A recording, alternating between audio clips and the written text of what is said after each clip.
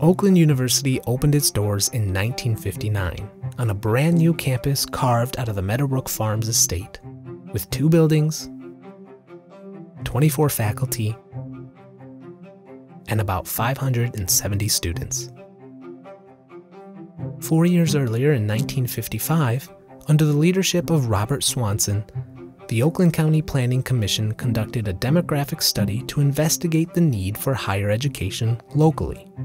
A comprehensive study headed by Dr. John D. Russell and published in 1958 recommended the expansion of existing institutions and the creation of new campuses.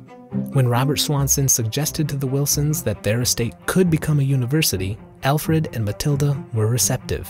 In 1956, news of the Ford family donation of Henry Ford's home and approximately $6 million to the University of Michigan for the creation of a new branch in Dearborn prompted Matilda Wilson to mention a similar idea to her friend John Hannah, then MSU president, who immediately dispatched future OU Chancellor Durward Woody Varner to visit Matilda and Alfred Wilson. The couple decided to go ahead with the conception of a branch of Michigan State University on their estate.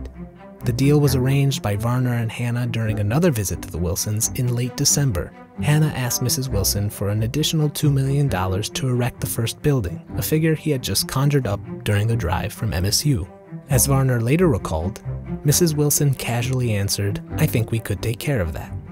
The total gift of 1,400 acres and $2 million, estimated conservatively at $10 million, was made public on January 3, 1957.